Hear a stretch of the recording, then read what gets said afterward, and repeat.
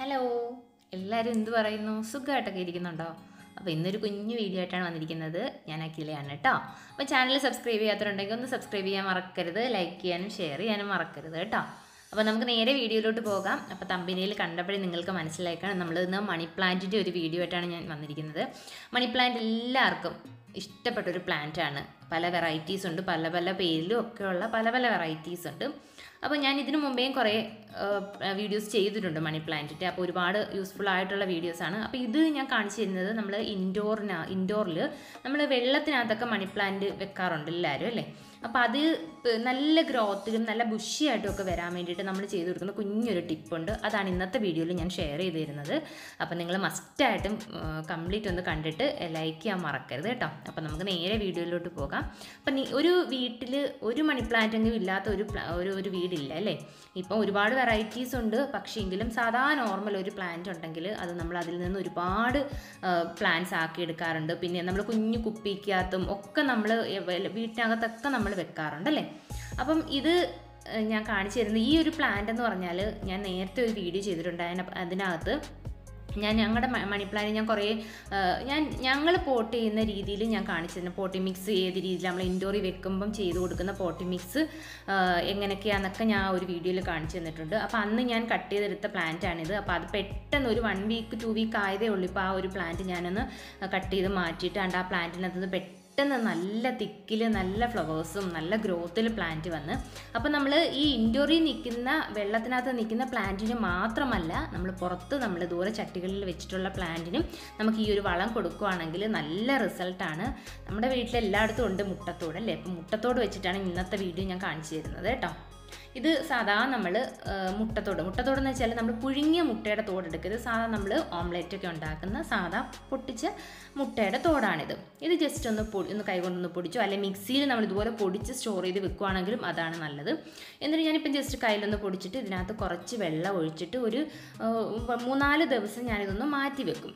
അല്ലെങ്കിൽ നിങ്ങൾ ചെയ്യേണ്ട കാര്യം എന്ന് വെച്ചാൽ ഇപ്പം മുട്ടത്തോട് പൊടിച്ച് നമ്മൾ ഒരു ഏട്ടായിട്ടായിട്ട് കണ്ടെയ്നറിനകത്ത് നമ്മൾ മാറ്റി വെക്കാറുണ്ടല്ലോ നമ്മുടെ പ്ലാന്റ്സിനെല്ലാം കൊടുക്കാൻ വേണ്ടിയിട്ട്. അപ്പോൾ അതുണ്ടെങ്കിലും നമ്മൾ ഇതുപോലെ കുറച്ച് വെള്ളത്തിനകത്തിട്ട് ജസ്റ്റ് ഒരു രാവിലെ ഇട്ട് വെച്ചാൽ വൈകിട്ടാകുമ്പോഴത്തേക്കും അത് നമ്മുടെ വെള്ളമായിട്ട് നല്ലതുപോലെ യോജിച്ച് വരും. ഇത് ഞാൻ പൊടിക്കാത്തത് കൊണ്ടാണ് ഇത് രണ്ട് മൂന്ന് ദിവസം ഞാൻ ഒഴിച്ച് മാറ്റി വെക്കുന്നത്. അപ്പോൾ മാറ്റി വെച്ചതിന് ശേഷം എടുത്തിട്ടുള്ള ഒരു ലിക്വിഡാണ് ഇതൊരു നമ്മുടെ ഒരു കഞ്ഞിവെള്ളത്തിന്റെ ഒരു പരുവം പോലെ വരും. ഒരു മാതിരി കളറൊക്കെ ഒന്ന് ചേഞ്ചായി ആ ഒരു പ്ലാ ഒരു മുട്ടത്തോടിനകത്തുള്ള കാൽഷ്യവും എല്ലാം ഈ ഒരു വെള്ളത്തിനകത്ത് ഇറങ്ങിയിട്ടുണ്ട്. എല്ലാ കണ്ടന്റും ഈ ഒരു വെള്ളത്തിനകത്ത് ഇറങ്ങിയിട്ടുണ്ട്. ഇത് നമ്മൾ ചെയ്ത് കൊടുക്കേണ്ടതെന്ന് വെച്ചാൽ ഇപ്പം ഞാൻ ഇൻഡോറിൽ വെക്കുന്ന ഇൻഡോറിലെ ബൗളിനകത്ത് വെള്ളത്തിനകത്ത് വെക്കുന്ന ഒരു പ്ലാന്റ് ആണ് ഞാൻ കാണിച്ചു തരുന്നത്. അപ്പോൾ അതിന് വേണ്ടിയിട്ട് ഞാൻ കുറച്ച് നമ്മുടെ മണി പ്ലാന്റ് പുറത്ത് നിൽക്കുന്ന നോർമൽ മണി പ്ലാന്റ് ഞാൻ എടുത്തിട്ടുണ്ട്. ഏത് വെറൈറ്റി ആണെങ്കിലും കുഴപ്പമില്ല. അപ്പോൾ ഞങ്ങൾ നിങ്ങൾക്ക് എല്ലാവർക്കും അറിയാം മണി പ്ലാന്റ് നടുന്നത്. ഇതുപോലെ മുട്ടുഭാഗത്ത് എല്ലായിടത്തും റൂട്ട്സ് ഇങ്ങനെ ഓടിയിട്ടുണ്ടായിരിക്കും. അത് അത് ഇങ്ങനെ ആ ഒരു മുട്ടുഭാഗം വെച്ച് കട്ട് ചെയ്ത് കട്ട് ചെയ്ത് മാറ്റിയാൽ മതി. എല്ലാവർക്കും അത് അറിയാവുന്നതായിരിക്കാം. അതുകൊണ്ട് ഞാനിപ്പോൾ ഞാൻ കുറച്ച് എല്ലാം കട്ട് ചെയ്ത് മാറ്റി വെച്ചിട്ടുണ്ട്. എന്നിട്ട് ഞാൻ എന്താണ് ഇതുപോലെ മൂന്ന് ബൗളിനകത്താണ് ഇത് സെറ്റ് ചെയ്ത് വെക്കുന്നത്. ഇതുപോലുള്ള കുഞ്ഞു ബൗളോ അല്ലെങ്കിൽ കുഞ്ഞു കുപ്പികളൊക്കെ ഉണ്ട്. നമ്മളെ മിക്ക വീടുകളിലും കുപ്പിക്കകത്തായിരിക്കും ഇത് വെക്കുന്നത് അല്ലേ? എങ്ങനെ വെച്ചാലും നല്ല റിസൾട്ടാണ് നല്ല ഗ്രോത്തിൽ വരും.